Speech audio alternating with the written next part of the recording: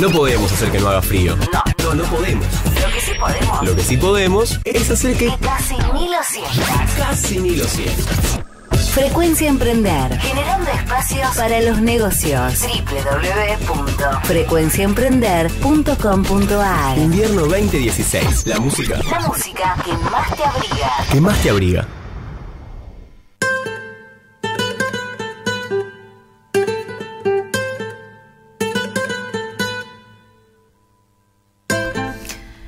Buen día a todos. Damos comienzo a nuestro sexto programa de Bien TIC, el programa en el cual hablamos de cómo la tecnología impacta en la vida de las personas y cómo podemos utilizarla para aprender y para emprender. Eh, para abrir nuestro programa, como siempre, vamos a partir con una frase.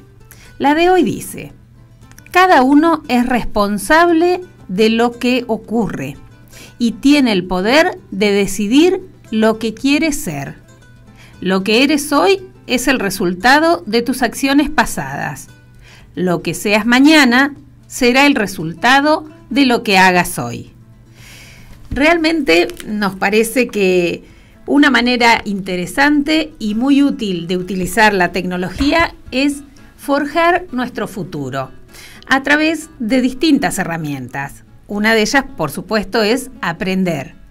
Pero hay otras que tienen que ver con la salud, con reflexionar sobre quiénes somos y cuál es nuestro propósito en la vida. Y aunque parezca esto algo muy metafísico, a eso también pueden ayudarnos las nuevas tecnologías. Para comenzar, nuestro tema de, arranque es ¿qué es la realidad aumentada? Seguramente vieron eh, en los negocios unos códigos QR que hay pegados en las vidrieras de casi todos los negocios porque nos manda la AFIP, al menos en Argentina, colocarlos. ¿Para qué sirven? Bueno, eso es un código que al acercar nuestro teléfono inteligente con un programa, obviamente, que tenga instalado, vamos a poder ver un archivo de texto. ¿Con qué? Bueno, en ese caso con los datos del negocio, nada muy interesante. Pero esa tecnología que es la realidad aumentada, que es acercar una tablet o un teléfono móvil con un programa que tenga instalado y poder ver algo distinto de lo que ven nuestros ojos, es la realidad aumentada. Entonces, la realidad aumentada consiste en combinar el mundo real con el mundo virtual. Es decir, que agregamos información a los objetos. Por ejemplo, para los que estén viendo el programa, en esta imagen vemos como una persona colocándose las gafas, estas famosas de Google, o hay otras marcas, ¿no? Ahora el, Samsung S7 va a venir con, con, las gafas este, para quien lo compre, pero también se pueden comprar aparte. Eh, con esas gafas que vienen distintos programas y hay videos para ver podemos agregarle a la realidad que observan nuestros ojos imágenes en movimiento. ¿Y para qué se usa la realidad aumentada? Bueno, por supuesto, la publicidad fue la primera en emplearla.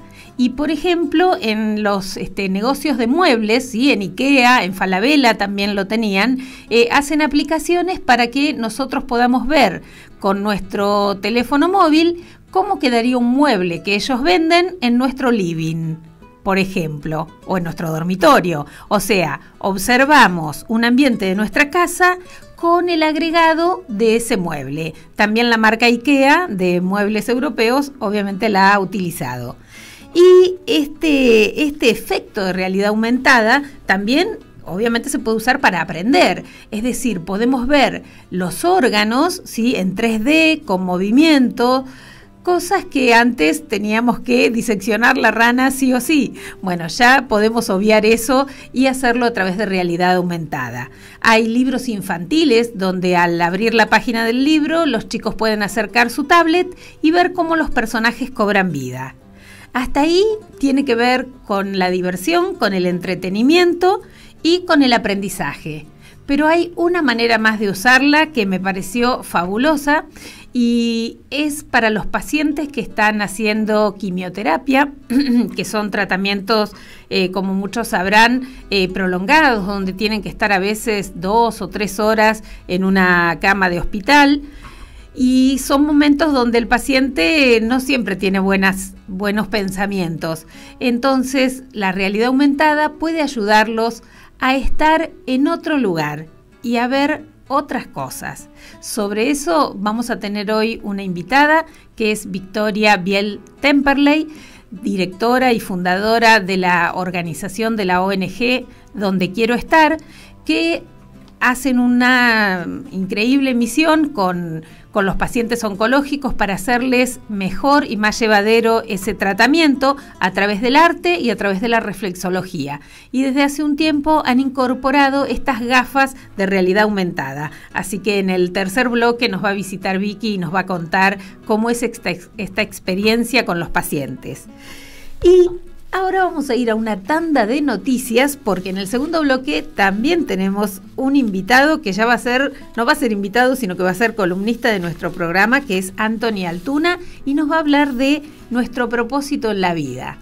Así que vamos ahora con las noticias.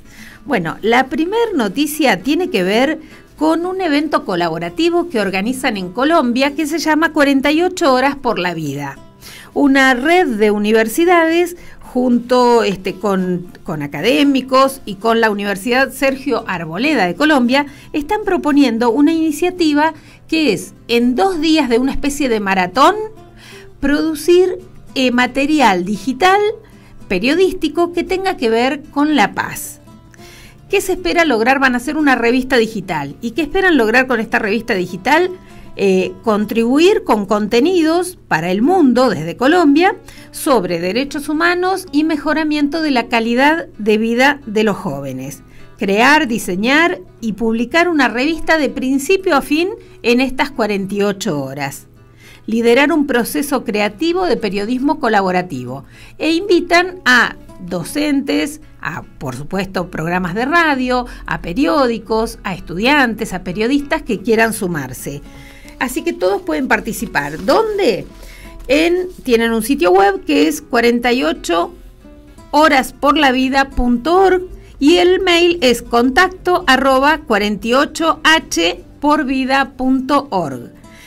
¿Qué pueden enviar? Pueden enviar textos, reportajes, músicas, crónicas, testimonios de historias de vida.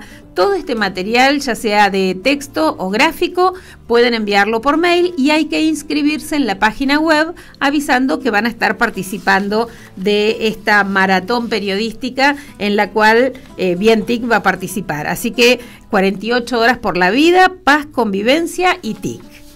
Nuestra segunda noticia tiene que ver con la gente que está buscando empleo. Si sos joven o grande y estás desocupado, una de las alternativas obviamente es capacitarte.